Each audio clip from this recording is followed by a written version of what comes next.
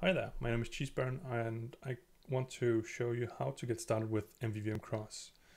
And for this purpose, I want to show you uh, a tool called MVX Scaffolding, um, which is a tool by Jonathan Froon. Um, it's a set of templates for the .NET templating system. Um, so obviously it requires you to have .NET installed uh, prior to that. It requires .NET SDK 2.1.4 or newer. Um, but let's let's get started with this. So the first thing you would do is to run .NET new install um, MVX scaffolding. I've already done this a couple of times before, um, but uh, it will be super quick. And what enables you to do is to run a couple of new, like new the .NET new commands, which is uh, how you create a new template uh, uh or a new .NET app, and then it provides these templates MVX native and MVX forms. There's some documentation that you can read of how this uh, .NET CLI tool uh, works.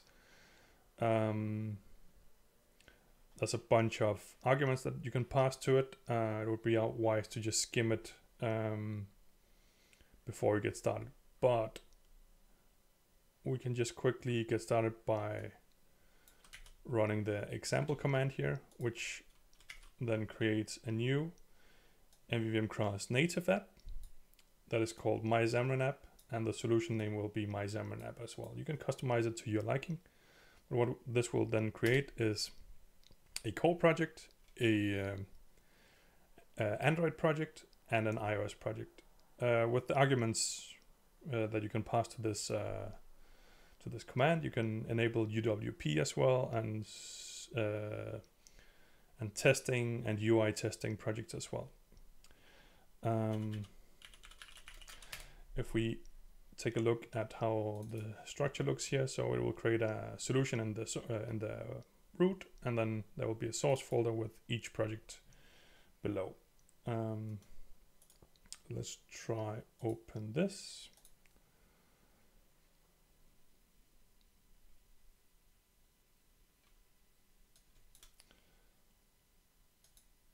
Right, so it's a it's a pretty flat structure here. You have a solution items folder and you have a core project, Droid project, and iOS project, where everything you need to to do is uh, to get started with a MVVM Cross app is already done for you. So you already have a setup file, and you already have uh, some basic uh, views that you can use and extend to your liking. Um, let's try to run the Android project and see how it goes. Just resize this so you can see the entire screen.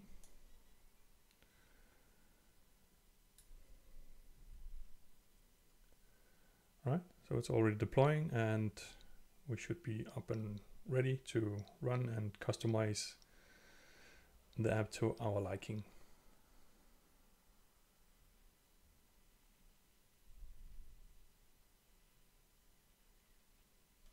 Ta-da! Now you're up and running um, and it will obviously work the same for iOS where uh, in this case it will just have a, a single entry point um, and now you're ready to to do whatever you want with uh, with the app. So thank you for watching. Um, have a nice day. Bye bye.